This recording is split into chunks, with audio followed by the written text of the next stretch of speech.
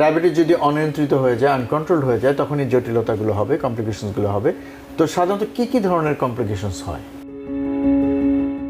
Kidney damage হয় ডায়াবেটিসের কারণে? তারপরে ধরেন রেটিনাপতি বলে ধরেন চোখের রেটিনা নষ্ট হয়ে যাওয়া। তারপরে মেজর ব্লাড ভেসেলের যেসব প্রবলেম হয়, ওগুলো ধরেন হার্টের প্রবলেম হতে পারে।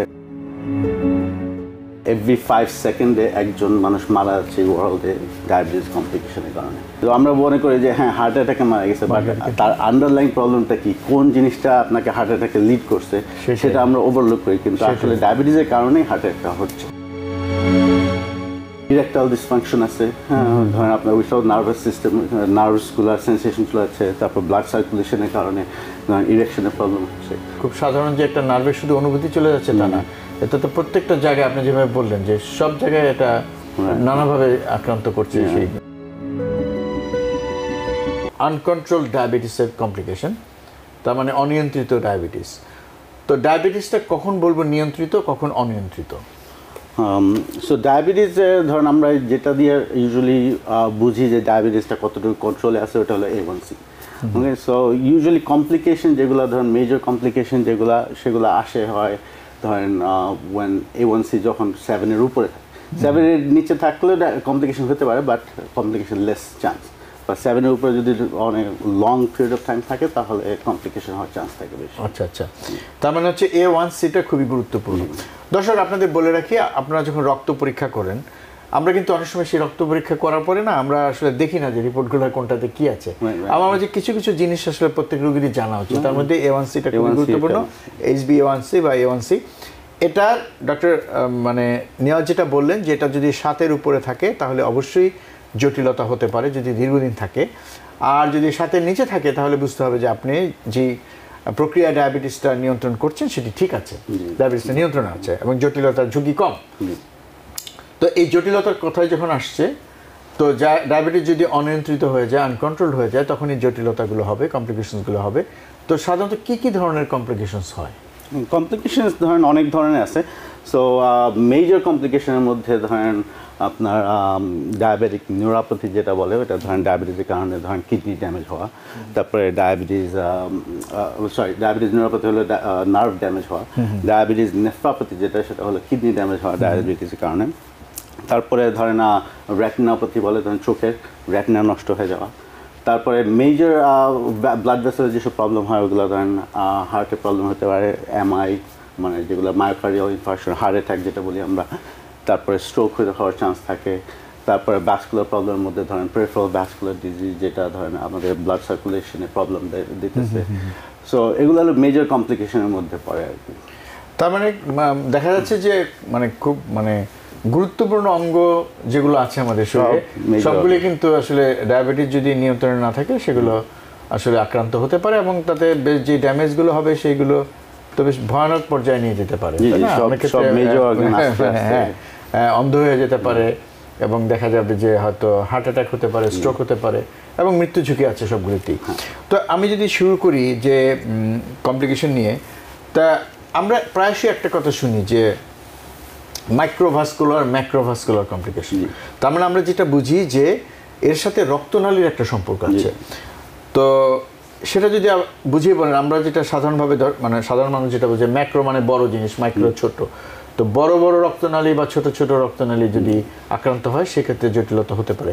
আপনি যদি একটু মানে শ্রেণি বিভাগ করে একটু ভাগ করে বলেন যে কোনগুলো মাইক্রোভাস্কুলার কমপ্লিকেশন কোনগুলো। ম্যাক্রোভাস্কুলার বলব আমরা।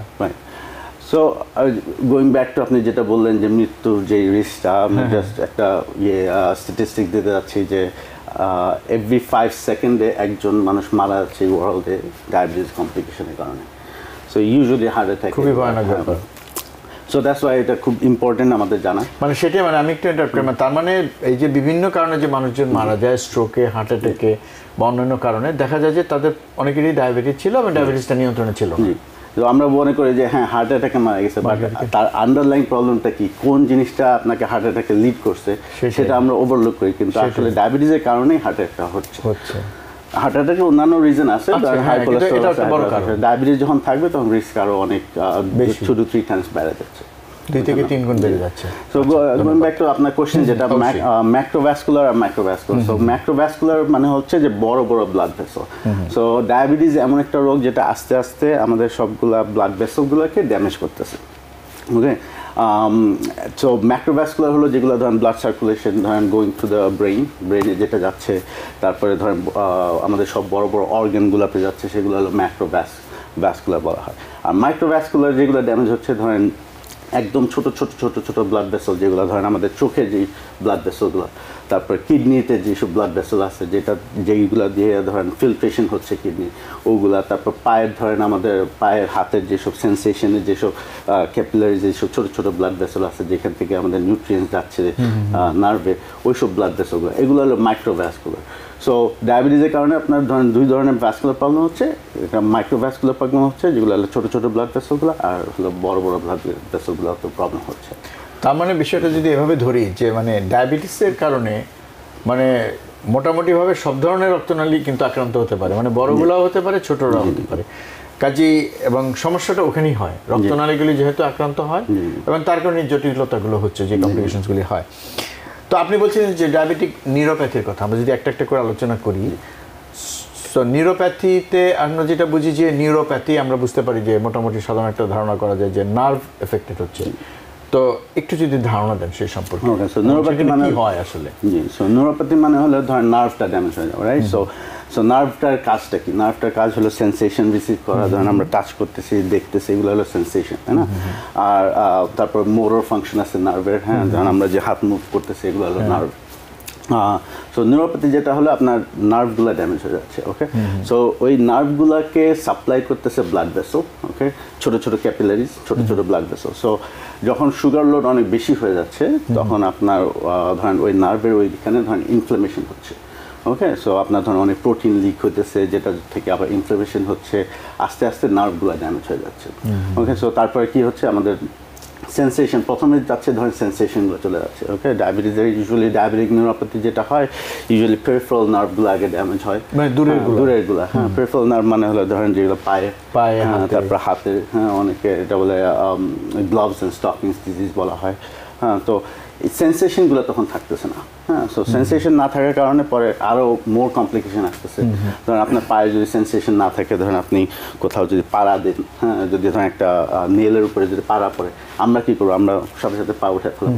কিন্তু যাদের ডায়াবেটিসের ধরেন নার্ভগুলো ড্যামেজ হয়ে যাচ্ছে তারা পা জানেও না যে পাড়া বুঝছেন না? তো তাদের ওই সেন্সেশনটা মানে অনুভূতি যেহেতু হ্যাঁ। নাই উনি বুঝতেই পারেন না যে কতটা ইঞ্জুরি হলো। রাইট সো ওইটা ধরেন এটা হলো ডায়াবেটিক নিউরোপ্যাথি পেরিফেরাল তারপর আরেকটা ইয়ে পার্ট আছে যেটা ধরেন ধরেন অটোনমিক নার্ভ নার্ভাস সিস্টেমও ড্যামেজ করতেছে। অটোনমিক নার্ভাস সিস্টেম মানে হলো ধরেন যেটাতে আমাদের কন্ট্রোল নাই। সো ধরেন আমাদের খাওয়া দাওয়া যেটা কন্ট্রোল করতেছে তারপরে আমাদের যখন উত্তেজিত হয়ে গেলে যেটা রেসপন্স করতেছে বডি সেগুলো হলো অটোনমিক নার্ভাস সিস্টেম ওইখানে আমরা ডিটেলসে কথা বলতে পারি আপনি যদি বলে আমি হ্যাঁ, হ্যাঁ, হ্যাঁ, সো অটোনমিক নার্ভাস সিস্টেমে অনেক ধরনের ড্যামেজ হচ্ছে ধরেন মনে করেন হার্টে অনেক সময় প্রবলেম হচ্ছে যেটা ধরেন হার্ট রেটটা যে আমাদের উপর নিচ হচ্ছে এটা control by autonomic nervous system হ্যাঁ? সো ধরেন আমরা হঠাৎ করে ধরেন যদি ভয় পাই যে আমাদের হার্ট রেটটা বাইরে যায় এটা হলো অটোনমিক নার্ভাস সিস্টেম আমরা ধরেন শোয়া থেকে যখন দাঁড়াই তখন আমাদের হার্ট রেটটা বাড়ে হ্যাঁ? তারপর ব্লাড প্রেশারটা বাড়ে হ্যাঁ? কারণ কি? যখন শোয়া থেকে যদি দাঁড়াই যদি ব্লাড প্রেশারটা না বাড়ে তাহলে ব্লাড প্রেশার ড্রপ করবে। ইটস লাইক একটা বোতলের মতো বোতলে যদি পানি থাকে। পানিটা যখন আপনি উঠাবেন তখন পানিটা সব কুলস ডাউন সো ব্লাড যখন কুল ডাউন করবে তখন আমরা পাস আউট করতে পারি অজ্ঞান হয়ে যেতে পারি রাইট সো আমাদের বডির সিস্টেমটা কি? তখন আমাদের ব্লাডটাকে বাড়ানো বাড়ানো। ওকে হার্ট রেট দিয়ে আর রেজিস্ট্যান্স দিয়ে সো যাদের যারা ডায়াবেটিক নিউরোপ্যাথিতে ভুগতেছে তাদের ওই সিস্টেমটা কাজ হচ্ছে না। তখন কি হতেছে পশ্চারাল হাইপোটেনশন হচ্ছে। মানে কি? যখন দাঁড়াচ্ছে ব্লাড প্রেশারটা ড্রপ ড্রপ করছে। সো তখন ওইটাতে কি হচ্ছে? মানুষ অনেক সময় অজ্ঞান হয়ে পড়ে যাচ্ছে। সো এটা একটা অটোনমিক নার্ভাস সিস্টেম প্রবলেম তারপরে ধরেন অনেক সময় আছে ধরেন আম, আমরা যখন খাচ্ছি আমাদের পাকিস্তলিতে ধরেন অনেক নার্ভ আছে রাইট সো ধরেন আমাদের পাকিস্তলিগুলো কন্ট্রাক্ট করতেছে। সো যাদের ধরেন ডায়াবেটিস অনেক লং টার্ম আছে তাদের ধরেন পাকিস্তলি কন্ট্রাক্ট হচ্ছে না। ওকে ফলে কি হতেছে ধরেন আপনি যখন যখন খাওয়া খাইছি তখন খাবারটা এখানে রয়ে যাচ্ছে। ওকে পাকিস্তলি এনাফ কন্ট্রাকশন হচ্ছে না। সো এটাকে বলা হয় গ্যাস্ট্রোপ্রেভিসিস হ্যাঁ? সো এটাও একটা কমপ্লিকেশন তারপরে ধরেন আমাদের ইউরিন সিস্টেম আমরা যখন বাথরুমে যাচ্ছি ব্লাডার সো ব্লাডারের চারিদিকেও ধরেন নার্ভস আছে হ্যাঁ? সো ধরেন যাদের ডায়াবেটিক নিউরোপ্যাথি আছে তাদের ওই নার্ভের সেন্সেশনগুলো চলে যাচ্ছে। সো ব্লাডার যে ফুল এটা আপনি বুঝতে পারছেন বুঝতে পারছেন। ওকে সো আমরা যখন ব্লাডার ফুল হয়ে আমরা বাথরুমে যাচ্ছি সো যাদের ডায়াবেটিক নিউরোপ্যাথি আছে তারা বুঝতেছে না। তখন তারা ফুল হইতে হইতে পরে দেখা যাচ্ছে লিকেজ হচ্ছে তখন ইনকন্টিনিউস হতেছে হ্যাঁ? সো এটা একটা কমপ্লিকেশন তারপরে ধরেন আবার ইরেকটাল ডিসফাংশন আছে। হ্যাঁ ধরেন আপনার ওইসব নার্ভাস সিস্টেম নার্ভসগুলো সেন্সেশনগুলো আছে তারপর ব্লাড সার্কুলেশনের কারণে ইরেকশনের প্রবলেম হচ্ছে। তো এগুলো আর কি অরোনমিক সেটা অনেক ধন্যবাদ। আসলে মানে নিউরোপ্যাথি যে কতভাবে মানে ক্ষতিগ্রস্ত করছে মানে মানে অনেক কিছু বিষয় কিন্তু এটার সাথে জড়িত তাই না? মানে এটা আসলে তো মানে খুবই গুরুত্বপূর্ণ যে খুব সাধারণ যে একটা নার্ভের শুধু অনুভূতি চলে যাচ্ছে তা না এটা তো প্রত্যেকটা জায়গায় আপনি যেভাবে বললেন যে সব জায়গায় এটা নানাভাবে আক্রান্ত করছে সেই Because people sneeze. Because not everyone washes their hands. Because kids touch a lot of things. Set a date to get your COVID shot and RSV if eligible. Because if you're wondering, should I get my COVID shot? Think about other people. Learn more at nj.gov slash health slash vaccines. New York থেকে সম্প্রচারিত TVN twenty four television বিশ্বজুড়ে বাঙালির কণ্ঠস্বর